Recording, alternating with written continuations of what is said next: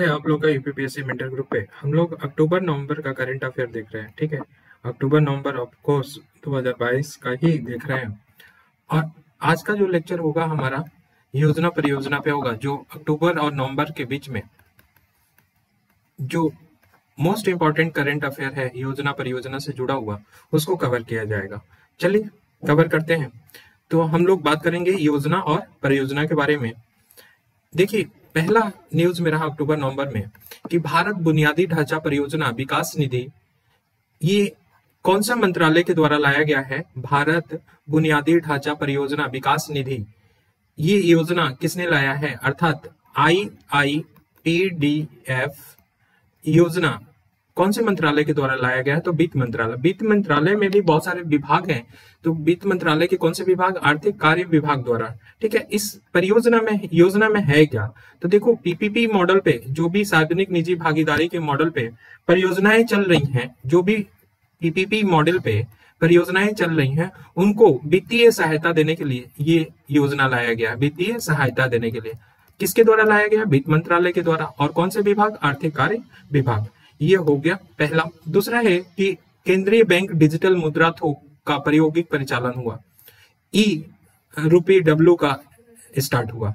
तो ये कौन किया परिचालन? तो आरबीआई द्वारा ये शुरुआत किया गया एक नवंबर 2022 को किया गया। ठीक है ना? इसमें जो केंद्रीय बैंक डिजिटल मुद्रा थोक है, उसमें क्या, इसके द्वारा क्या किया जाएगा? तो जो भी हमारे गवर्नमेंट सिक्योरिटी होते हैं, प्रति सरकारी प्रतिभूतियाँ होती हैं उनको द्वितीयक बाज़ार में लेन देन के लिए ये डिजिटल रुपया का उपयोग किया जाएगा। कौन सा? जो डिजिटल मुद्रा थोक है, डिजिटल रूप से लॉन्च किया गया। किसने किया है? आरबीआई ने लॉन्च किया है। तो जो भी गवर्नमेंट सिक्योरिटी होगा या सरकारी प्रतिभूतियाँ होंगी, वो द्वितीय बाज़ार लेन देन में प्रयोग किया जाएगा। ठीक है ना? और आरबीआई ने इसका प्रायोगिक परिचालन के लिए कितने बैंकों को चयन किया है? तो नौ बैंकों को चयन किया है। ये ध्यान रखना, नौ बैंकों को चयन किया है। नेक्स्ट हम लोग चले तो मिशन लाइफ। मिशन लाइफ किससे जुड़ा हुआ है? तो ये पर्यावरण के जीवन शैली से जुड़ा हुआ है। अर्थात ये मिशन पर्यावरण सुरक्षा और संरक्षण से संबंधित है। तो मिशन लाइफ सीधे पूछ लिया जाएगा कि किससे संरक्षित किससे संबंधित है? तो पर्यावरण सुरक्षा और संरक्षण से संबंधित है। तो ये हमारे प्रधानमंत्री नरेंद्र मोदी द्वारा गुजरात के, जो केवड़िया में जानते हुए एकता नगर है, वहाँ पे स्टेचू ऑफ़ यूनिटी है। ठीक है ना? तो यहाँ से बहुत सारी बातें पता चल रही है कि एक तो प्रधानमंत्री मोदी द्वारा इस मिशन को लॉन्च किया गया और किसके प्रेजेंस पे? तो यूएन के महासचिव एंटोनियो गुटरेस के प्रेजेंस पे यह मिशन लॉन्च किया गया। तो वेरी इंपॉर्टेंट ये भी पता चल गया कि यूएन राष्ट्र का महासचिव कौन है? एंटोनियो गुटरेस है। ये पहले भी थे और अभी भी हैं। तो ये भी पता चल गया। दूसरी बात है कि स्टेचू ऑफ़ यूनिटी कहाँ पे है? तो केवड़िया एकता नगर में है और मिशन लाइफ किससे जुड़ा हुआ है? तो मिशन लाइफ पर्यावरण सुरक्षा और संरक्षण से संबंधित है या पर्यावरण के लिए जीवन शैली। ठीक है ना? लाइफ का मतलब इसमें पर्यावरण के लिए जीवन शैली की बात हो रही है। ठीक है ना? तो ये बात ध्यान रखना। Next trees outside forest in India TOFI TOFI कार्यक्रम स्टार्ट हुआ है। और वेरी इंपॉर्टेंट कहाँ से स्टार्ट किया गया है? तो ये असम से किया गया Assam trees outside forest in India TOFI कार्यक्रम स्टार्ट किया गया है असम सरकार द्वारा। और यूएस का US agency for international development USAID के द्वारा किया गया है, ठीक है ना? असम सरकार और US agency for international development या यूसेट के द्वारा मिलके इस कार्यक्रम की शुरुआत किया गया है। और असम में ही इसका शुरुआत हुआ ट्रीज क्यों किया गया है? जो भी रिजेलेंट कहें कि जो हमारे फार्मर हैं, वो फार्मर का इनकम बढ़ाना रिजेलेंट स्ट्रक्चर देना रिजिलियंट स्ट्रक्चर देना, और साथ ही साथ इससे क्या होगा, इसे कार्बन क्रेडिट के रूप में कार्बन क्रेडिट के रूप में उपयोग किया जाएगा, ठीक है ना? टॉफी का मतलब प्लांटेशन किया जाएगा, और इसमें कार्बन क्रेडिट का कार्बन क्रेडिट क्रेडिट के थ्रू इसको खरीदा और बेचा जाएगा, ठीक है ना? तो इसको डिटेल में जब पढ़ेंगे मेंस के लिए, तब देखेंगे। लेकिन इतना ध्यान रखो कि tree outside forest in India TOFI कार्यक्रम असम सरकार और यूसेट के द्वारा मिलकर स्टार्ट किया गया है। कहाँ पे किया गया? असम में किया गया है। किससे जुड़ा हुआ है? तो जैसे ही मालूम है फॉरेस्ट ट्रीज आउटसाइड फॉरेस्ट जो फॉरेस्ट है, उसके साइड आउटसाइड क्या लगाना? ट्रीज लगाना। उससे क्या होगा? फार्मर को फार्मर को इनकम बढ़ेगा, ठीक है? सस्टेनेबल डेवलपमेंट होगा। दूसरी बात है कि carbon credit carbon capturing capacity बढ़ जाएगा। कार्बन कैप्चरिंग बढ़ जाएगा तो इसके कार्बन क्रेडिट के थ्रू क्या किया जाएगा? खरीद फरोख्त किया जाएगा। खरीद फरोख्त किया जाएगा तो वो उसे भी लाभ होगा। नेक्स्ट वन हेल्थ संयुक्त कार्य योजना। वन हेल्थ संयुक्त कार्य योजना किसके द्वारा लॉन्च किया गया? तो वेरी इंपॉर्टेंट याद रखना W H O U N E P F A O और डब्ल्यू ओ ए एच इसके द्वारा ये चार पाँच संस्थाएँ हैं। इनके द्वारा लॉन्च किया ये चार संस्थाएँ हैं। कौन है? W H O world health organization UNEP संयुक्त राष्ट्र पर्यावरण कार्यक्रम, ठीक है? और एफ़ ए इसको बोलते हैं खाद्य और कृषि संगठन। और फिर डब्ल्यू ओ एच ये विश्व पशु स्वास्थ्य संगठन द्वारा ये चार लोग मिलके ये वन हेल्थ संयुक्त कार्य योजना स्टार्ट किया कितने साल के लिए? पाँच साल के लिए। ध्यान रखना इस बात को। अच्छा पराली प्रबंधन परियोजना, जिसका नाम है वायु अमृत। पराली प्रबंधन परियोजना है। पराली जो जानते हो कि दिल्ली में सबसे ज़्यादा जो पंजाब और हरियाणा में जलाए जाते हैं, उस पराली से धूम या स्मोक फॉर्मेशन ज़्यादा होता है और दिल्ली उससे ज़्यादा ग्रसित है। तो पराली को प्रबंध करने के लिए एक परियोजना लाया गया है, वायु अमृत परियोजना। किसके द्वारा लाया गया है? तो ये परियोजना लॉन्च किया है सी आई आई भारतीय उद्योग परिसंघ, ठीक है? भारतीय उद्योग परिसंघ द्वारा ये लॉन्च किया गया कहाँ पे? ये संगरू पंजाब में किया गया है। पराली प्रबंधन परियोजना या वायु अमृत, ठीक है ना? अच्छा सी आई आई के साथ कौन इस परियोजना भागीदारी और है? तो oil Indian oil corporation Indian Indian oil corporation के साथ भागीदारी किया है कौन? भारतीय उद्योग परिसंघ। ठीक है ना? तो वायु अमृत भी ध्यान रखना सीआईआई द्वारा हुआ है और प्रणाली प्रबंध परियोजना का ही नाम है वायु अमृत। ये दोनों में से कुछ भी पूछ ले, आप तैयार रहिएगा। नेक्स्ट भारत अफ्रीका सुरक्षा फेलोशिप कार्यक्रम। ये भारत अफ्रीका सुरक्षा फेलोशिप कार्यक्रम, जैसे कि मालूम है कि डेफ एक्सपो कहाँ हुआ था?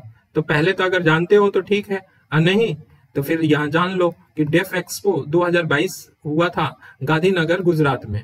यहाँ पे भारत और अफ्रीका के रक्षा मंत्री के बीच में संवाद हुआ और ये दूसरा संस्करण था। इसी संस्करण के दौरान भारत अफ्रीका सुरक्षा फेलोशिप कार्यक्रम का लॉन्च किया गया। ठीक है ना? तो हमें बेसिकली यहाँ पे इतना कोई इंपॉर्टेंट नहीं रखता है कि भारत अफ्रीका सुरक्षा फेलोशिप पूछ लिया जाएगा, लेकिन डेफ एक्सपो तो ज़रूर पूछा जा सकता है। इसलिए हमने इसको ला दिया कि एक अलग तथ्य भी आ जाएगा। ठीक है? नेक्स्ट प्रधानमंत्री जन आरोग्य योजना। अच्छा इसको इतना हम डिटेल में नहीं पढ़ते हैं। हम सीधे जाने कि जो हमारा प्रधानमंत्री जन आरोग्य योजना या आयुष्मान भारत, प्रधानमंत्री जन आरोग्य योजना स्टार्ट हुआ था। तो आप लोग बता सकते हो कि किसके प्रेरणा से स्टार्ट हुआ था? ये गुजरात में गुजरात में गुजरात में एक चल रहा था। अमृतम मुख्यमंत्री अमृतम योजना कब से चल रहा था? 2012 में चल रहा था। और इसमें गरीब नागरिकों को बीमारी और चिकित्सा उपचार हेतु सहायता प्रदान किया जाता था। किसमें? मुख्यमंत्री अमृतम योजना को। इसी योजना को सफलता देख के, इस योजना की सफलता देख के 2018 में हमारे प्रधानमंत्री ने आयुष्मान भारत की स्टार्ट की थी। तो बस ये ध्यान रखना है। इसीलिए इस पॉइंट को या इस स्लाइड को बनाया है। नेक्स्ट है कि पीएम डिवाइन किससे जुड़ा हुआ? तो पीएम डिवाइन ये नॉर्थ ईस्ट के नॉर्थ ईस्ट के लिए ये विकास पहल है। नॉर्थ ईस्ट क्षेत्र के लिए प्रधानमंत्री की विकास पहल है, जिसको पीएम डिवाइन बोला जाता है। ये हंड्रेड परसेंट हंड्रेड परसेंट केंद्रीय वित्त पोषण है। हंड्रेड परसेंट क्या है? केंद्र द्वारा वित्त पोषित किया जाएगा पीएम डिवाइन, ठीक है ना? और ये केंद्रीय क्षेत्र की योजना है तो जब भी पूछे तो पीएम डिवाइन केंद्रीय क्षेत्र की योजना है, हंड्रेड परसेंट किसके द्वारा वित्त पोषित किया जाएगा? केंद्र या सेंट्रल गवर्नमेंट के द्वारा, ठीक है ना?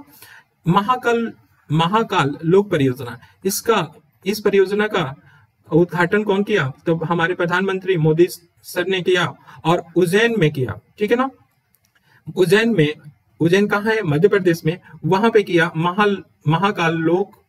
इस परियोजना का प्रथम चरण स्टार्ट किया। ठीक है ना? महाकाल, लोक परियोजना का प्रथम चरण कहाँ से स्टार्ट हुआ? उज्जैन से हुआ। ये उतना इंपॉर्टेंट नहीं रखता है, जितना इंपॉर्टेंट ये रखता है कि महाकाल पथ बनाया गया। उसमें कितने स्तंभ लगाए गए? 108 स्तंभ लगाए गए, जो भगवान शिव के आनंद तांडव स्वरूप को दर्शाते हैं। तो भगवान शिव के आनंद तांडव स्वरूप को दर्शाते हैं कौन? 108 पिलर जो लगाए गए हैं, स्तंभ लगाए गए हैं, कौन से? महाकाल पथ पे। तो ये इस बात को ध्यान रखना। Flexi fuel strong hybrid electrical vehicle परियोजना स्टार्ट हुआ flexi fuel strong hybrid electrical vehicle परियोजना। इस परियोजना को शुरुआत किसने किया गया है? किसने किया है? तो टोयोटा द्वारा इसको शुरुआत किया गया है। दूसरी बात है कि इस पायलट जो परियोजना चलेगा इसका, उसमें हंड्रेड पेट्रोल ठीक है? हंड्रेड पेट्रोल और उसके साथ इथेनॉल बीस से सौ मिलाया जाएगा इसमें। और साथ ही साथ मतलब कि हाइब्रिड बात हो रही है तो हाइब्रिड में क्या होगा? पेट्रोल होगा और इलेक्ट्रिक इलेक्ट्रिक शक्ति से संचालित होगा। और पेट्रोल में क्या किया जाएगा? इथेनॉल मिलाया जाएगा। तो flexi fuel strong hybrid electric vehicle परियोजना किसके द्वारा स्टार्ट किया गया है? टोयोटा द्वारा स्टार्ट किया गया है। नेक्स्ट अगर देखें तो पीएम गति शक्ति गुजरात पोर्टल पीएम गति शक्ति जैसे ही जानते हो पीएम गति शक्ति पोर्टल है। वैसे ही गुजरात ने एक पोर्टल बनाया है और ये पोर्टल बनाने वाला भारत का पहला राज्य बन गया। था पीएम गति शक्ति गुजरात पोर्टल बनाने वाला, या पीएम गति शक्ति पे कौन सा राज्य पोर्टल बनाया है? तो गुजरात बनाया है, ठीक है ना? ये ध्यान रखना। अब देखो, युवा 2.0 स्टार्ट हो गया है। युवा क्या है कि जो भी युवा लेखक हैं, उनके मार्गदर्शन के लिए प्रधानमंत्री की ये योजना है, जिसको युवा नाम से बोला जाता है। कौन से मिनिस्ट्री के द्वारा इसको स्टार्ट किया गया तो शिक्षा मंत्रालय के द्वारा स्टार्ट किया गया और शिक्षा मंत्रालय के उच्च शिक्षा विभाग द्वारा ये भी ध्यान रखना, शिक्षा मंत्रालय के उच्च शिक्षा विभाग द्वारा इसकी शुरुआत की गई युवा टू को। ठीक है? अब इस योजना का कार्यान्वयन एजेंसी कौन है? तो ध्यान रखना नेशनल बुक ट्रस्ट है। ठीक है? नेशनल बुक ट्रस्ट है। भारत नेशनल बुक ट्रस्ट है, इसको बोलेंगे, ये इधर होना चाहिए।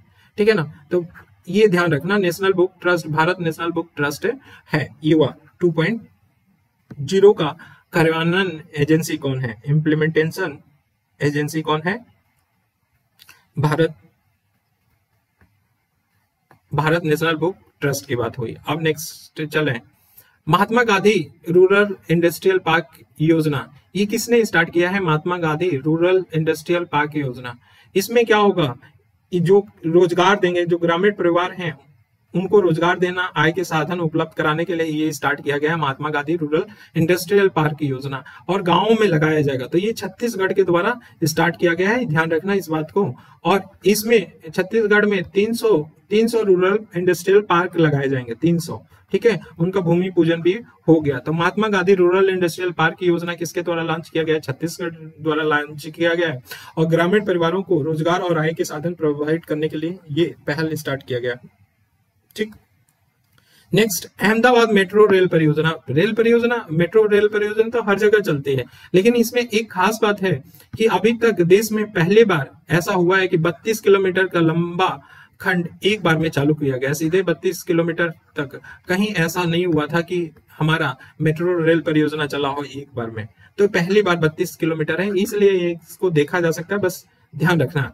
मुख्यमंत्री डेयरी प्लस योजना किसने स्टार्ट किया था? ये मध्य प्रदेश ने स्टार्ट किया, मुख्यमंत्री डेयरी प्लस योजना, ठीक है ना? और ये मुख्यमंत्री कौन है?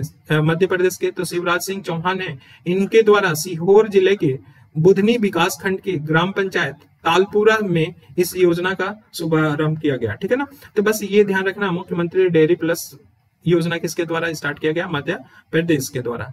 अब मिशन निरामया मिशन निरामया किसके द्वारा स्टार्ट किया गया है? तो यूपी गवर्नमेंट के द्वारा किया गया है। कहाँ पे किया गया है? एसजीपीजीआई के।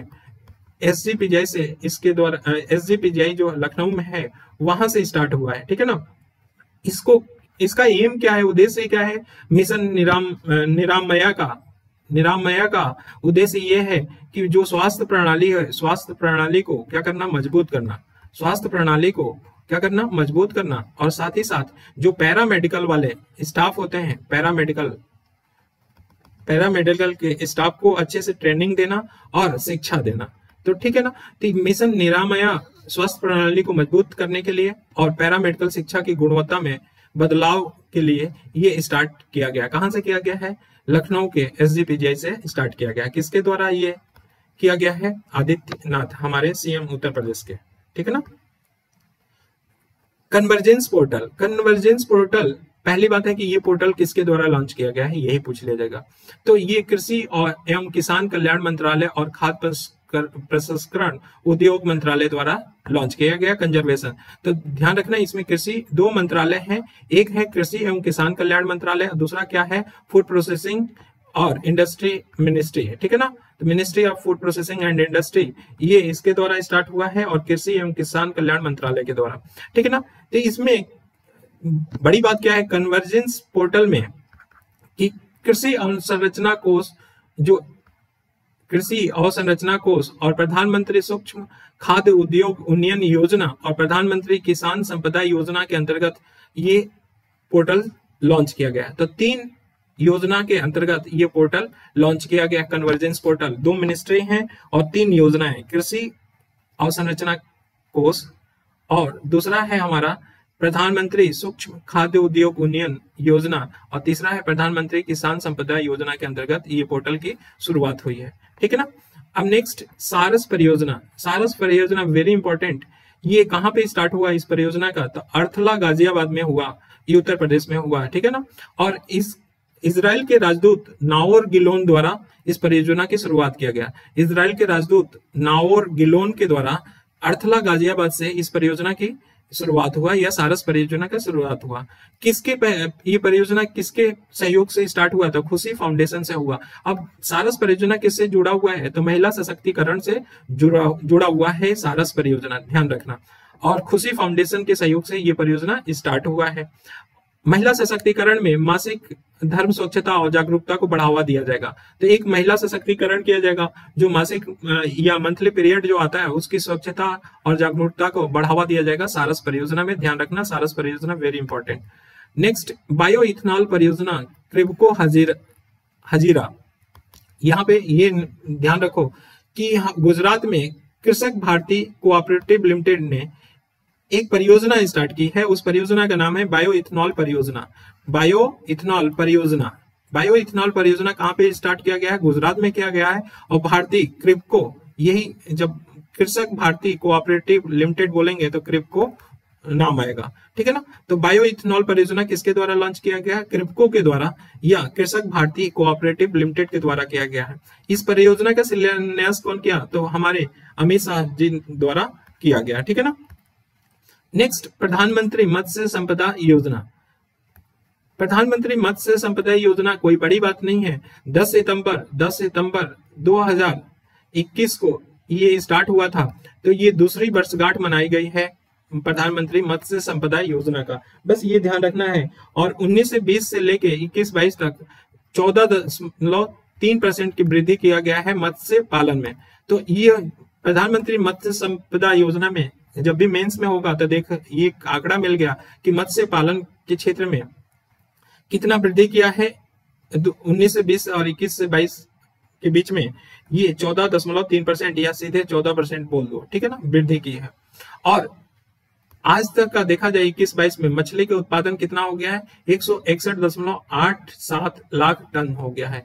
One sixty one point eight seven lakh ton हो गया है, जो सर्वकालीन, सार्वकालीन उच्चतम स्तर पे पहुँच गया है। तो सबसे ज़्यादा मछली का उत्पादन यही समय में हुआ है, आज तक।